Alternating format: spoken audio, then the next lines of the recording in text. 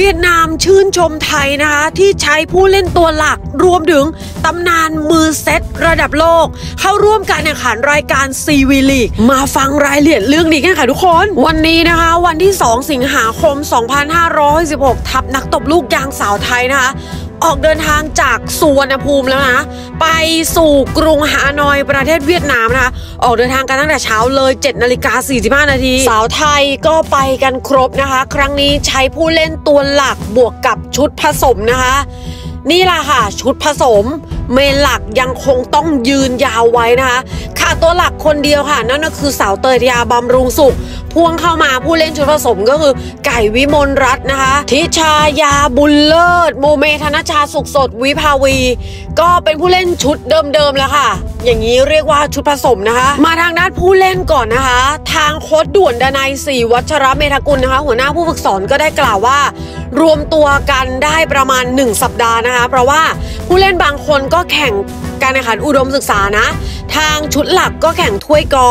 เพิ่งมารวมตัวกันเนี่ยแบบฟูลทีมได้ 1 สัปดาห์ ทางโค้ดด่วนกล่าวนะคะ ว่าที่ยังใช้ผู้เล่นชุดหลัก แข่งขันในทุกรายการแบบนี้นะคะ แม้จะเป็นรายการที่ไม่ได้เก็บคะแนน แม้จะเป็นรายการในอาเซียนเท่านั้น เพราะอยากให้ผู้เล่นชุดหลักอะได้ฝึกซ้อมกันอย่างต่อเนื่อง เพราะรายการที่รออยู่อีก 2-3 รายการเนี่ยถือว่าเป็นรายการใหญ่ที่ทางชุดใหญ่ของเราอะจะต้องโชว์ฝีมือโชว์ศักยภาพของตัวเอง ออกมาให้ดีที่สุด เพราะมีผลต่อคะแนนทั้งสิ้นเลยนะคะดังนั้นโค้ดด่วนก็บอกว่า รายการนี้ซีวีลีกหรืออาเซียนกลางปีเนี่ยเพื่อเป็นการให้ผู้เล่นชุดหลักได้ฝึกซ้อมกันมากขึ้น เหมือนอุ่นเครื่องกันนะคะทุกคน ทางด้านนุสราต้อมคำมานะคะ ทางโค้ชด่วนดนัยศรีวัชรเมธากุลก็ได้กล่าวนะคะว่านำเจ๊เจ๊ซาร่านุสราต้อมคำมาช่วยทางด้านมือเซตเป็นหลักเลย คือมือเซตล้วนๆเลยนะคะ เอามาประกบเซตเตอร์อย่างพรพรรณเกิดปราชญ์ และเอสิริมามานะกิจโดยเฉพาะนะ เพราะว่าการแข่งขัน VNL ที่ผ่านมาเราจะเห็นข้อบกพร่องของทีมเยอะมากๆ โดยเฉพาะความเข้าใจทางด้านตัวเซต ตัวตี ได้นุสราต้อมคำมาก็ทุกคนรอดูค่ะ รายการซีวีลีกมือเซตกับตัวตีจะเปลี่ยนไปมากน้อยแค่ไหน แอดก็เชื่อว่าระบบทีมของไทยน่าจะแข็งแกร่งขึ้นค่ะ สื่อของเวียดนามเพื่อนบ้านหลายสำนักนะคะ เมื่อเห็นรายชื่อ การส่งเข้าร่วมการแข่งขันรายการซีวีลีกเนี้ย สื่อของเวียดนามหลายสำนักชื่นชมนะทุกคน ชื่นชมว่าสาวไทยเนี่ยแม้จะเป็นรายการที่ไม่ได้เป็นรายการใหญ่รายการระดับโลกอะไรเท่าไหร่ แต่ก็ยังส่งผู้เล่นชุดหลัก รวมไปถึงรอบนี้ มีเซตเตอร์ ระดับโลกตำนานเซตเตอร์ระดับโลกอย่างนุสราต้อมคำเข้าไปเป็นผู้ฝึกสอนด้วยสื่อเวียดนามก็ชื่นชมมากๆ เพราะว่าการแข่งขันรายการซีวีลีกครั้งนี้เจ้าภาพก็คือประเทศเวียดนามนะคะ พวกเขารู้สึกดีใจที่ทางสมาคมไทยเนี่ยให้เกียรติเจ้าภาพ ให้เกียรติแต่ละประเทศและให้เกียรติทัวร์นาเมนต์ทุกทุกทัวร์นาเมนต์ที่ทีมชาติไทยจะต้องแข่งทั้งสื่อเวียดนามพูดอีกนะคะว่าไม่ว่าจะเป็นทัวร์นาเมนต์ไหนลีกไหน ทัพสาวไทยเนี่ยจะเน้นผู้เล่นชุดหลักทั้งสิ้น เป็นการให้เกียรติประเทศเจ้าบ้าน ให้เกียรติผู้เข้าร่วมการแข่งขันทั้งหมด นี่คือสื่อเวียดนามพูดนะคะ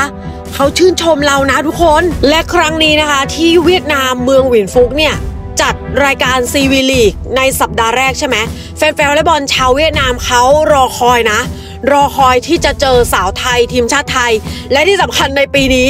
รอคอยที่จะเจอตำนานเซตเตอร์ เจ็ดซีนของเราอย่างนุสราต้อมคำค่ะสื่อเวียดนามกล่าวแบบนี้ สาวไทยนะคะ ก็จะมีเวลาฝึกซ้อม 2 วันนะ นั่นก็คือวันนี้วันพรุ่งนี้นะคะ แล้ววันที่ 4 ในช่วงเช้านะ ส่วนทัพสาวเวียดนามเองเนี่ย ทีมชาติเวียดนามเพิ่งถึงประเทศเวียดนามเมื่อวานนี้นะทุกคน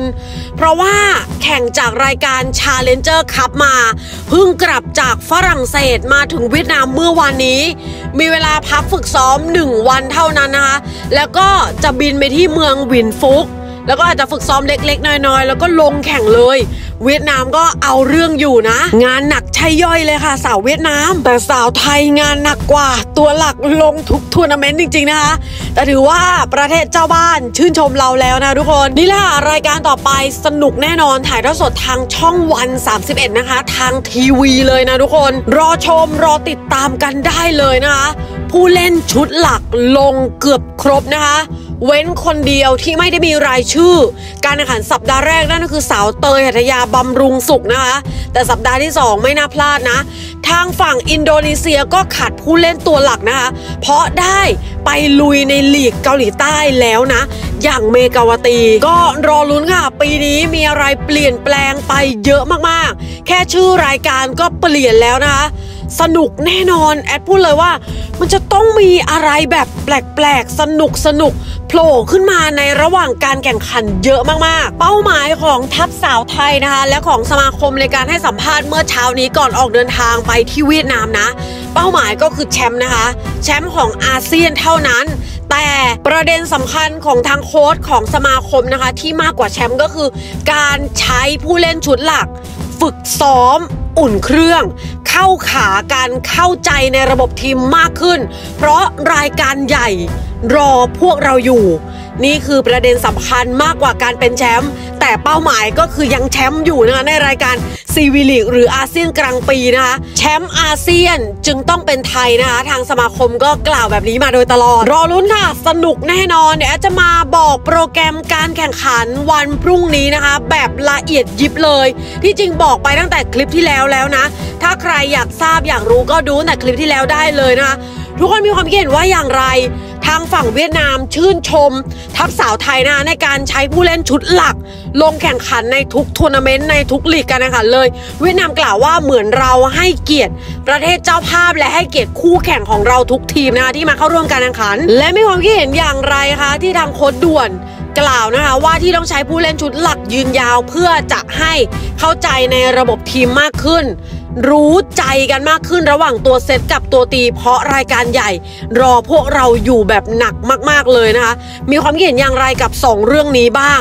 ทุกคนเล่าสู่กันฟังกับแอดได้เลยนะคะ ถ้าชอบคลิปนี้นะ อย่าลืมกดไลค์กด subscribe กดกระดิ่ง และคอมเมนต์เป็นกำลังใจให้ทัพนักตบลูกยางสาวไทยในการลุยศึกซีวีลีกหรือว่าอาเซียนกลางปีที่จะเกิดขึ้นในวันที่ 4-6 สนามแรกนะคะ ที่เวียดนามห้ามพลาด รอติดตามแอดแอดนำข่าวสารดีๆ มาบอกทุกคนอย่าลืมกดไลค์กด subscribe ให้ช่องแอดด้วยนะ